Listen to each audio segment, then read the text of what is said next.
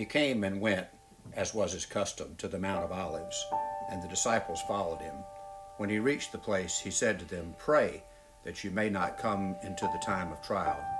Then he withdrew from them about a stone's throw, knelt down and prayed, Father, if you are willing, remove this cup from me. Yet not my will, but yours be done. Then an angel from heaven appeared to him and gave him strength.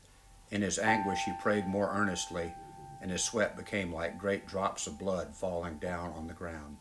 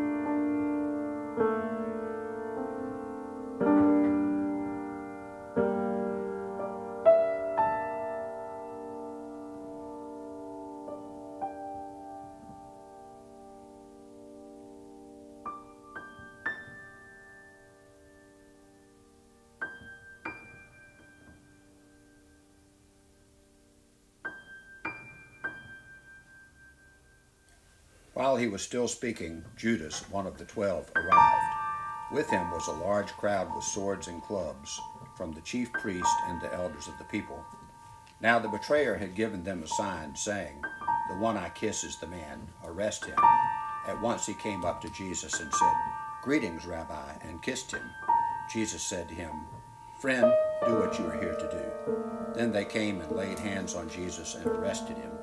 Suddenly, one of those with Jesus put his hand on his sword, drew it, and struck the slave of the high priest, cutting off his ear.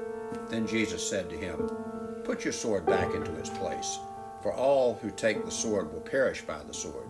Do you think that I cannot appeal to my Father, and he will at once send me more than twelve legions of angels? But how then would the scriptures be fulfilled, which say it must happen in this way? At that hour Jesus said to the crowds, have you come out with swords and clubs to arrest me as though I were a bandit? Day after day I sat in the temple teaching, and you did not arrest me. But all this has taken place so that the scriptures of the prophets may be fulfilled.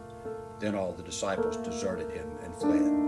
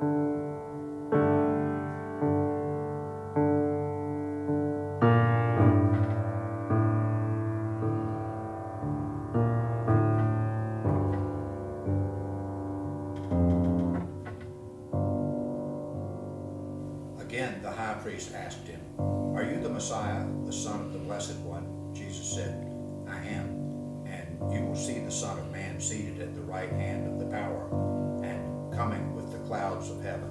Then the high priest tore his clothes and said, Why do you still need witnesses? You have heard this blasphemy. What is your decision? All of them condemned him as deserving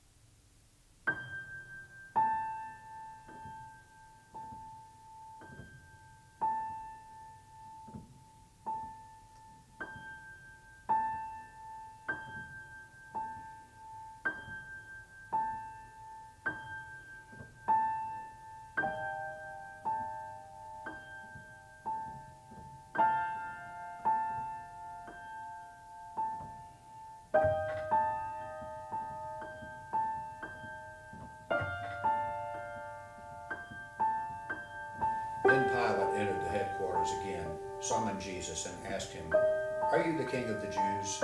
Jesus answered, Do you ask this on your own, or did others tell you about me?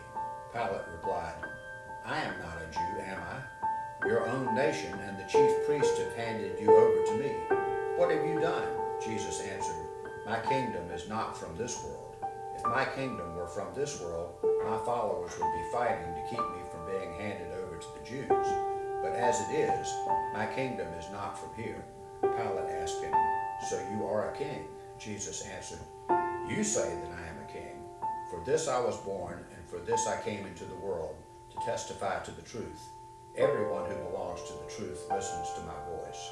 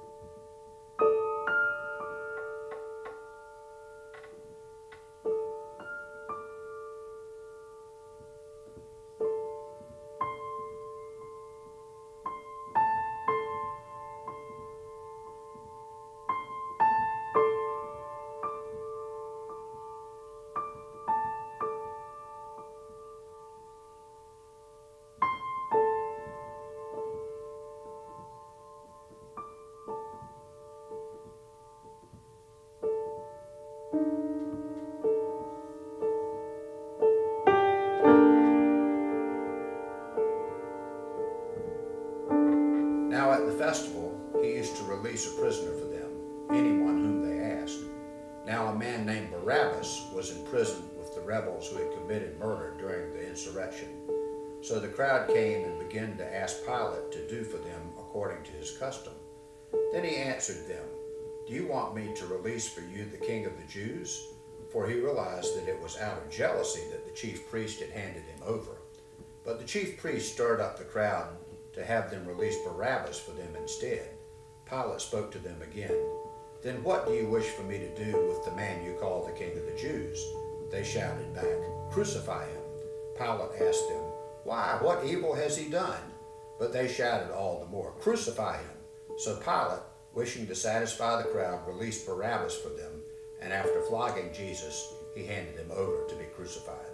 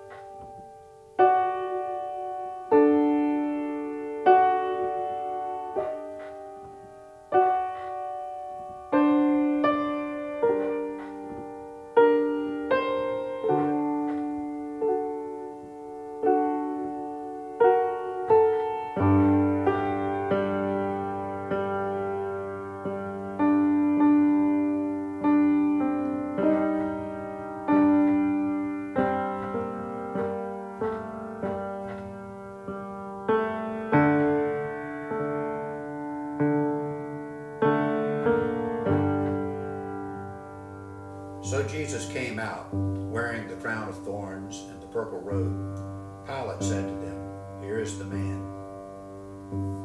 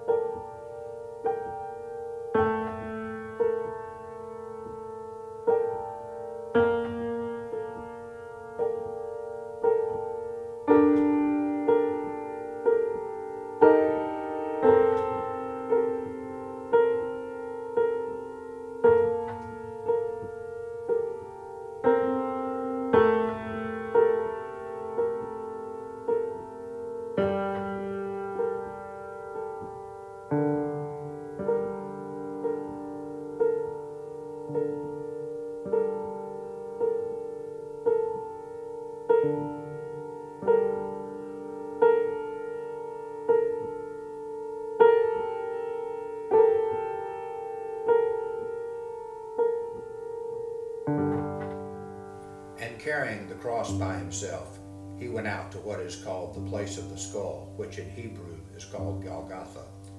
There they crucified him, and with him two others, one on either side, with Jesus between them. Consider how Jesus, in making the journey with the cross on his shoulders, thought of us and offered for us to God the death he was about to undergo.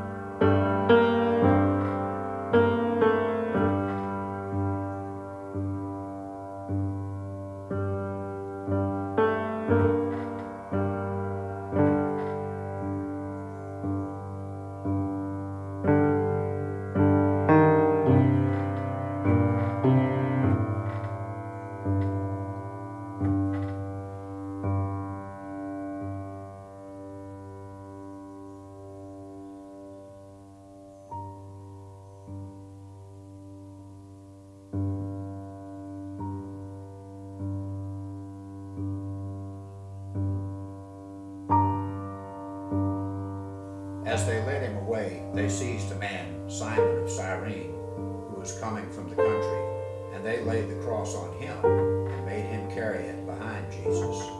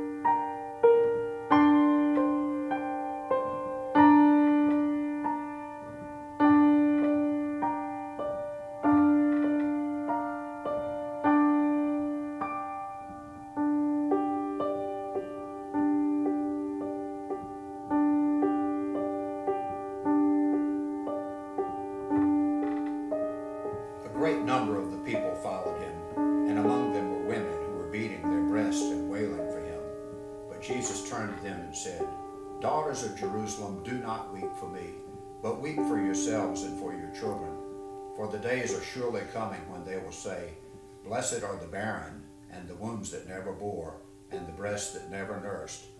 Then they will begin to say to the mountains, Fall on us, and to the hills, Cover us. For if they do this when the wood is green, what will happen when it's dry?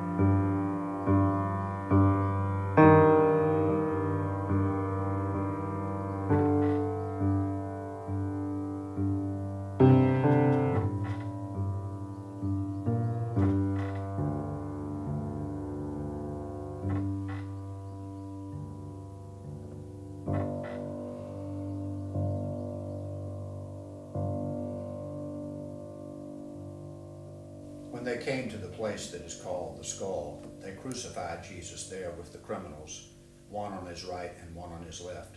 Then Jesus said, Father, forgive them, for they do not know what they are doing. And they cast lots to divide his clothing.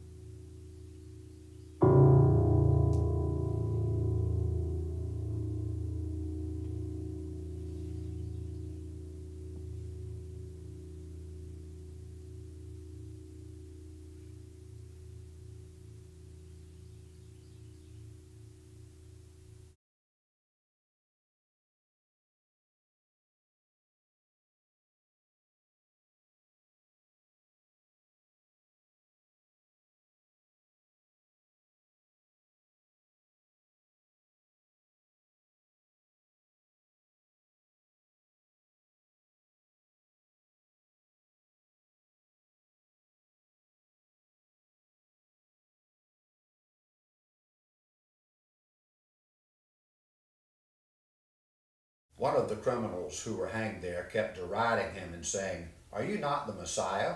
Save yourself and us. But the other rebuked him, saying, Do you not fear God, since you are under the same sentence of condemnation? And we indeed have been condemned justly, for we are getting what we deserve for our deeds. But this man has done nothing wrong. Then he said, Jesus, remember me when you come into your kingdom. He replied, Truly I tell you, today you will be with me paradise.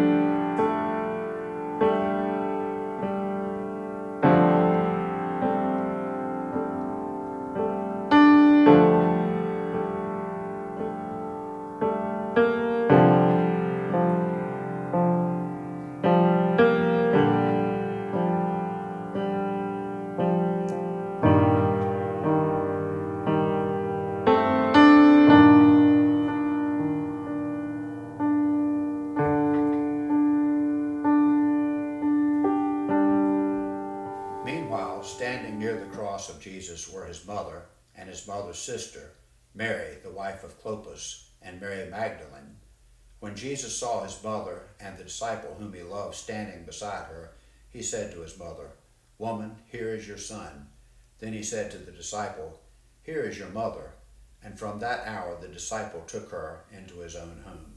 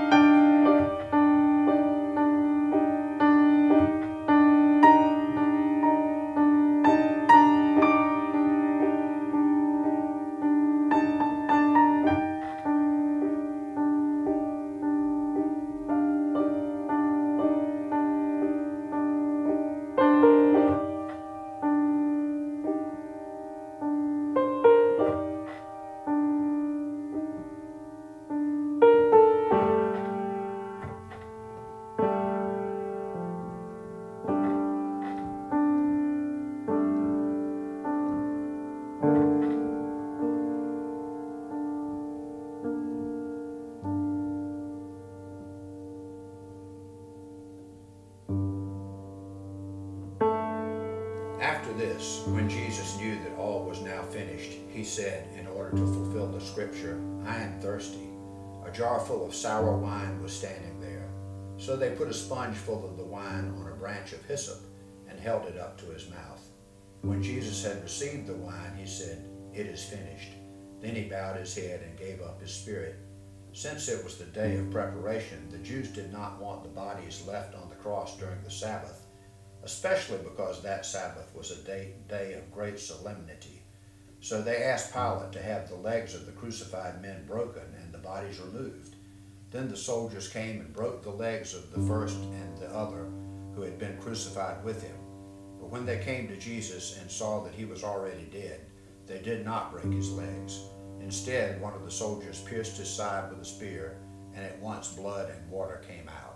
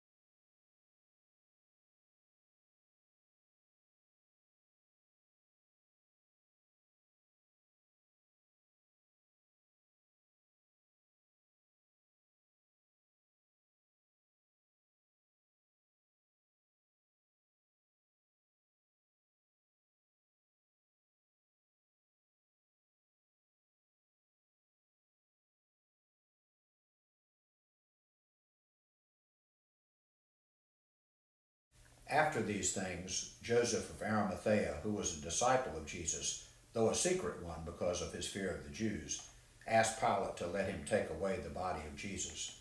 Pilate gave him permission, so he came and removed his body. Nicodemus, who had at first come to Jesus by night, also came, bringing a mixture of myrrh and aloes, weighing about a hundred pounds. They took the body of Jesus and wrapped it with the spices in linen clothes according to the burial custom of the Jews. Now there was a garden in the place where he was crucified, and in the garden there was a new tomb in which no one had ever been laid. And so, because it was the Jewish day of preparation, and the tomb was nearby, they laid Jesus there.